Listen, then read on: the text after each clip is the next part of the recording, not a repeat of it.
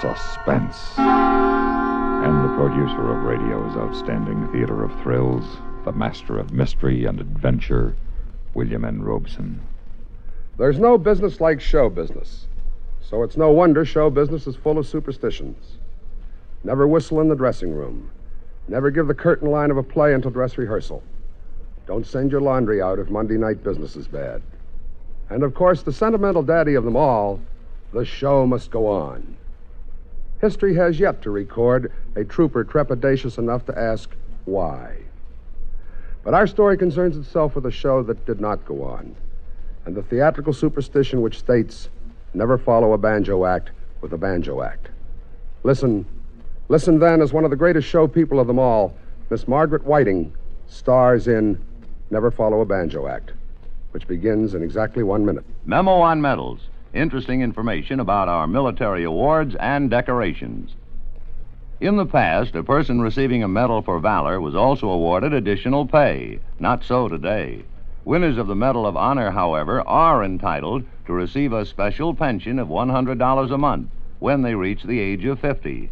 And all enlisted personnel who have won the Medal of Honor, the Distinguished Service Cross, or the Navy Cross are authorized by law to have their retirement pay increased 10%.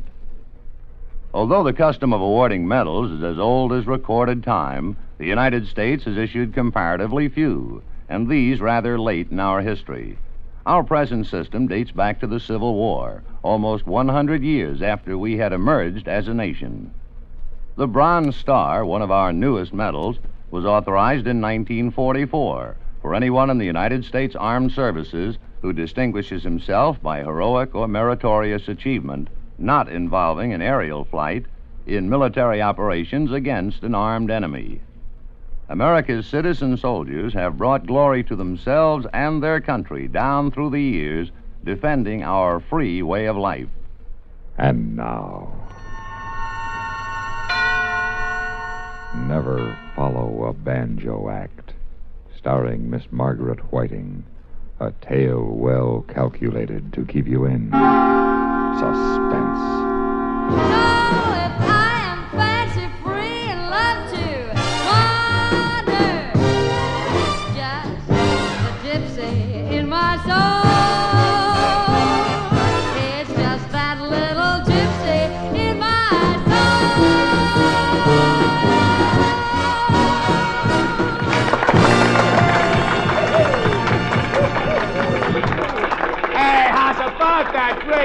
That's about that, ladies and gentlemen. Rosie Jones, take another bow, Rosie. Yes, sir. There you are, ladies and gentlemen, the one and only, the immortal Rosie Jones, pride of 52nd Street, out in the Club Nightshade. Uh, sing Melancholy Baby. and folks, now Club Nightshade invites you to dance to the rhythm of Chico and his Mambo Rascal. La da da da da da da da da dee. Sing Melancholy Baby the jerk. Yeah, who is it? Rosie, you decent? Enough. Rosie, this here is Mr. Cramp. Hello, Rosie. Yeah? And I'm Patrice Munsell. No, no kidding, Rosie. This is Mr. Cramp. The Mr. Cramp. Sorry, Mr. Cram, but every crumb that comes back here hoping to score claims that he's a big agent like you. yeah, I understand, Rosie.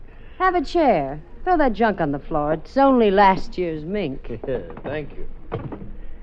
You know, I've been an admirer of yours for many years, Rosie. Many, many years. Benny, if this is a rib, so help me, I'll kill you. Listen to Mr. Cram, doll. Now, as you know, I'm representing Terry Dane.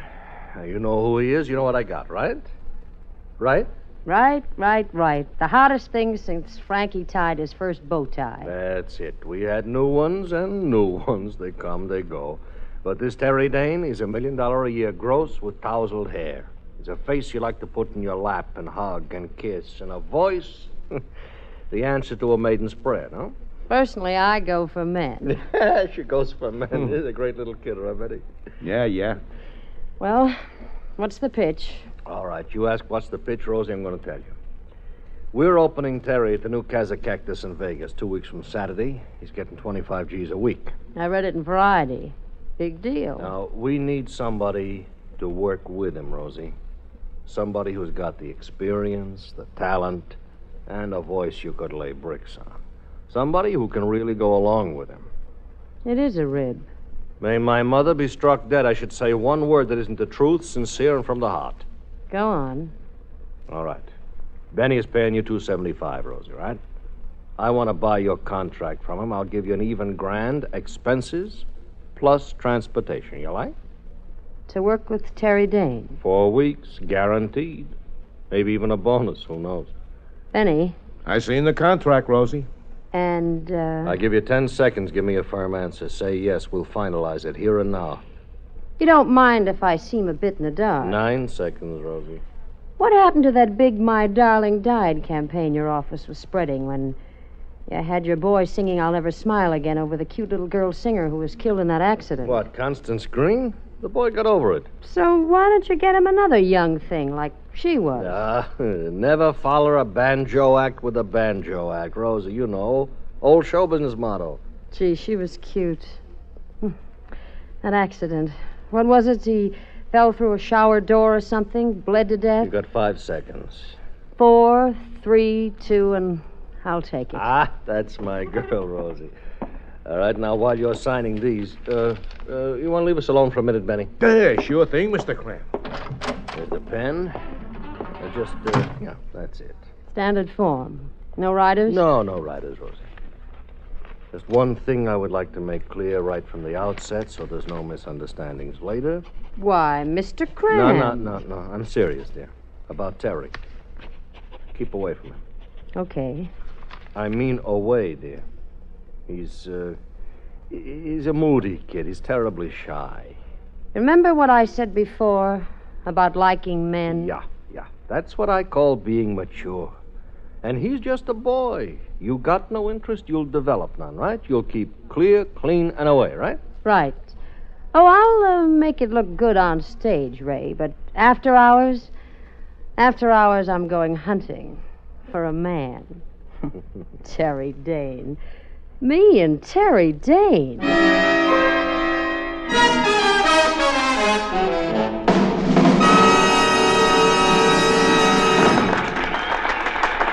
They like this, Rosie. It was a good arrangement, Terry. Now go on. There's the intro for your solo. Uh, who cares about solos? I like duets. I like doing it with you, honey.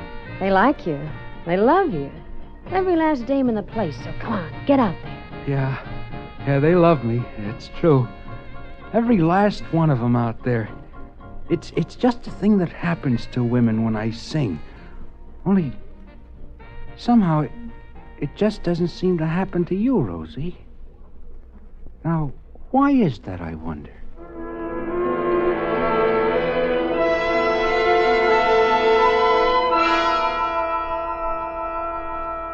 In a moment, we continue with the second act of Suspense. Another visit with Joe and Daphne Forsythe. You're mercy, I understand. Joe. Yes, I- Joseph, What? What? What? who is she? Wh- Who's who? Who were you dreaming about? Was I dreaming? You were talking in your sleep and giggling. How about that? What were you giggling about? I can't remember. Joseph, you mentioned a girl's name. Oh? What name? Spas. Spas? Yes, Spas. Candy Spas. It sounded like a dancer or a striptease or something. Oh. Oh, what? Well, I must have said candy spots. Candy spots is a horse. I bet on him once. You bet on a horse? Yeah, we had a pool. I could have won three dollars. Well, you should have put the money into savings bonds. They're a much better investment. It was only fifty cents. For 63 cents a day, you can buy a $25 bond a month.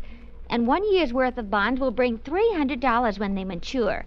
What's more, they're guaranteed to be winners. The whole United States stands behind them. Uh huh. So don't waste money betting on horses. Put it in savings bonds. Okay. Can I still dream about horses, though? If you do it quietly. Say, why were you giggling about a horse? And now, starring Miss Margaret Whiting, Act Two of Never Follow a Banjo Act. All right, folks, place your bets. Get your bets down. Here you are. Two bucks on number 23. Miss Jones, ma'am? Why, hello, Texas. Oh, my name ain't Texas, ma'am. It's Earl. Earl White. Earl. That's such a short name for such a long man. Well, I, uh, I just wanted to tell you how much I liked your singing, Miss Jones. Really? You're not just saying that. Oh, no, ma'am.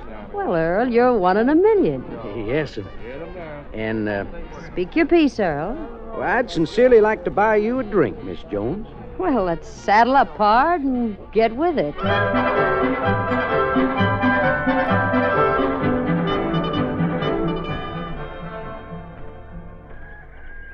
Oh, what a beautiful morning. Yes, sir. Mm. Sunrise. Best time of the day, Rosie. Look at all those mountains, all purply and gold. A man could look at them mountains for quite a spell without getting the least mite tired. Well, Earl, here's my bungalow, so I guess I'll be saying good night. Or is it good morning? Don't rightly know which you'd say, ma'am. Uh, let's just make it so long till later.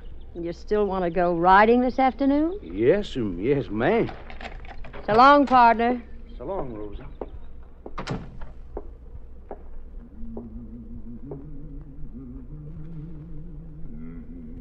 Who's there?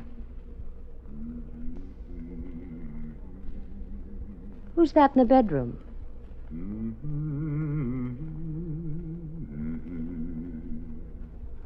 Hey, Dream Boy. What are you doing here at.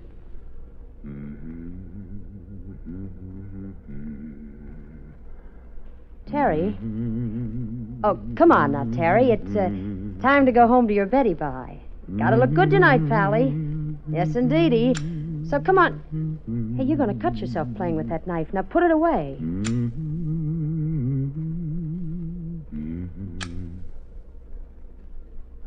Terry. You're like Connie. Connie? You're like Connie and that other one. When I was little. Connie. Oh, you mean Constance Green, the girl that used to sing with you, the one who died. Connie was like you. Now, we're not in the least alike. And Connie didn't like me. Get that. Don't snap that so close to me. Now, don't. Connie didn't like me, and you don't like me. Everybody likes you, Terry. You don't. Yes, I do. I, I do. Why? Because when you sing, well, when you sing, it, it, it does something to me, way inside. Does it? Yes, and it uh, it makes a lump in my throat, and well, I just want to swoon. You don't mean it. Yes, I do. I, I do. I've never heard anything like you, Terry, and your hair. Oh, I love your hair. I, uh, I just want to tousle it. Do that. Do what?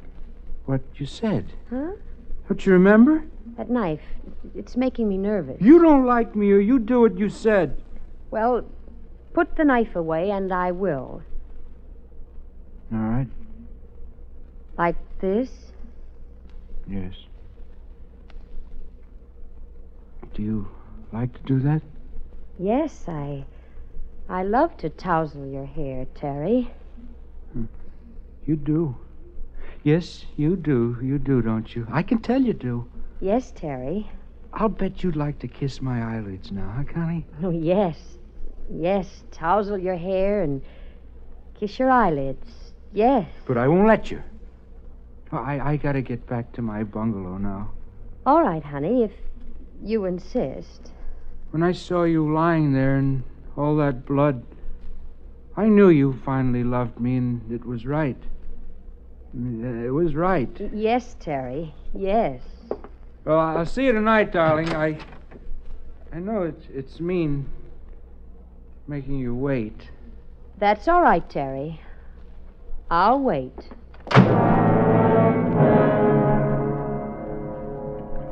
In just a moment, we continue with the third act of Suspense. We have together ample capacity and freedom to defend freedom.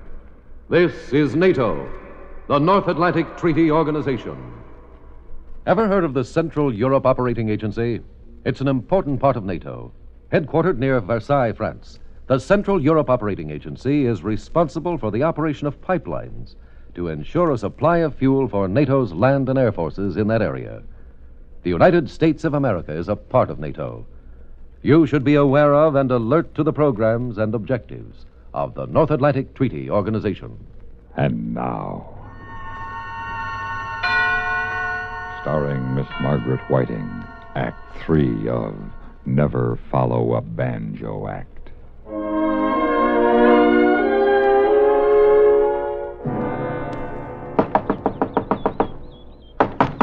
Oh, who's that? Me, Ray. Let me in. I've got to see you.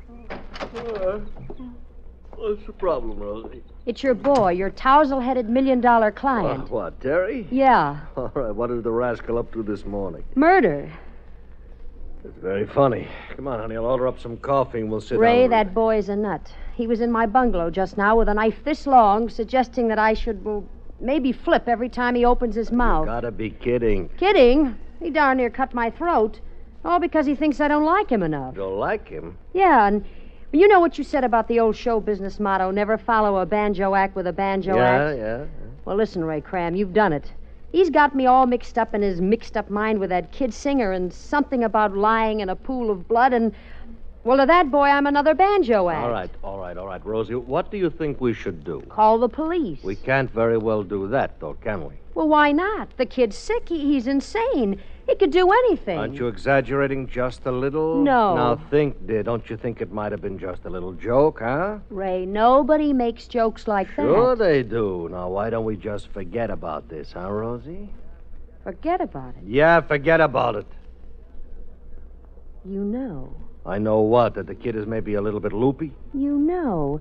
You know about him and that little knife All right, of now his. don't raise your voice. A- And maybe you know how that other girl singer died. She fell through a shower door. I read about it.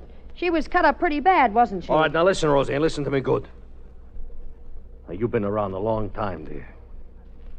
You know what can happen sometimes to a Weisenheimer goes popping off when it's not called for. But this is called for. That that kid belongs in an asylum or someplace. That kid represents a million dollar gross, Of which you get 10%. of which I get a whole lot less than that. He's divided up half a dozen ways, Rosie. Some of the holders are very influential parties. One of the parties in particular wouldn't like it if anything happened to make the money stop coming in. Now, this party's name is a secret, but you I'm going to tell it to. Because you've been around, Rosie. You can appreciate this. Who's the party? The syndicate. So explain. They're human beings. Sort of. Tell them the truth. Tell them they bought in on something bad, just like no, you. No, no, no. You don't understand. I sold them, Terry Dane. Me, Ray Cram. You're in trouble. Not unless you talk. If you do, you're in trouble, too. How do you mean I'm in trouble, too? The syndicate. I'd be forced to tell them who blew the whistle on their golden goose. And then. you know. Oh. So take the realistic view, huh, baby? We'll protect you. We'll keep Terry away from you. You've got nothing to worry about.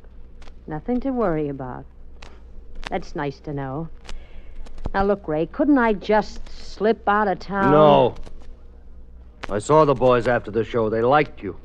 You stay. That's the word from the boys. I wish I were You dead. do like I say, you won't be. And there's one more thing, dear.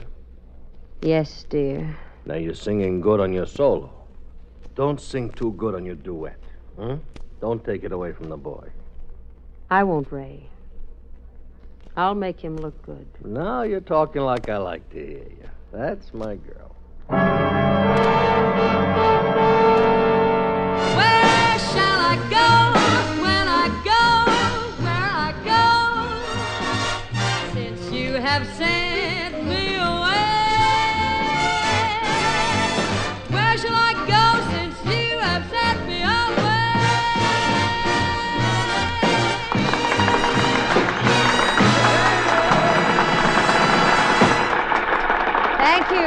Thank you.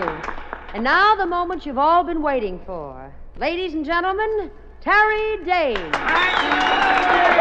Hello, folks. Hi, baby.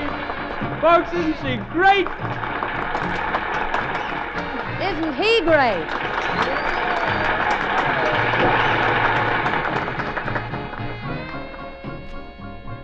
Terry, Yeah, doll? what are you thinking about, Terry? Oh, things. What kind of things, Terry? Moon, June, spoon, tune. You got a tune? Oh, I got a tune. Good little tune? Happy little tune. Hmm. Mmm. I like a happy little tune.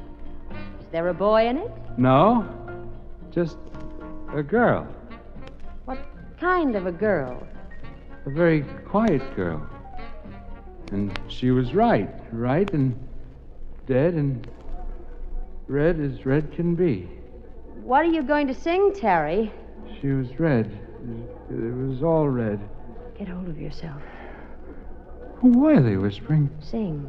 Don't they like me? Sing, Terry. I'll make 'em like me. Make you like me, Connie. And now that we've done our little crazy bit, folks, we're. I'll never smile again. Don't. I smile. Oh, Charlie's got a knife! Not the curtain! You can't cross me out! Get out of your hearts! Connie!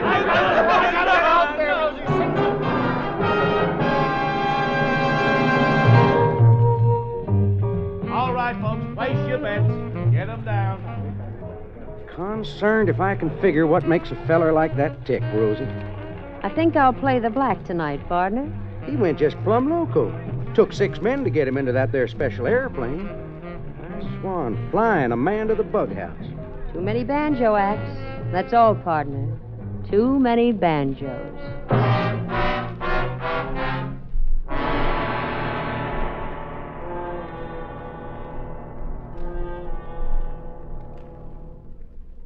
Suspense.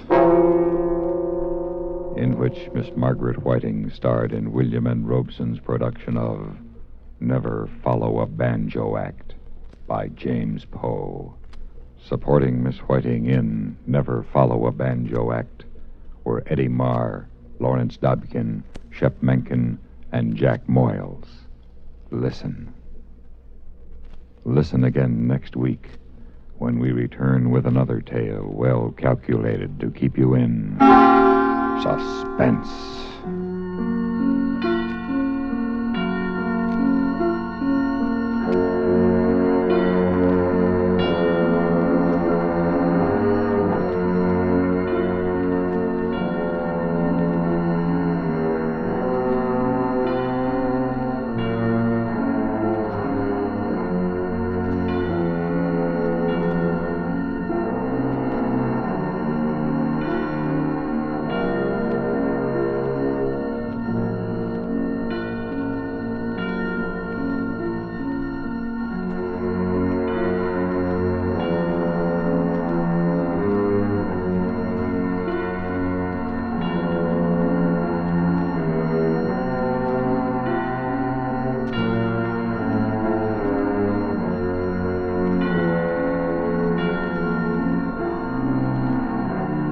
Suspense has been brought to you through the worldwide facilities of the United States Armed Forces Radio and Television Service.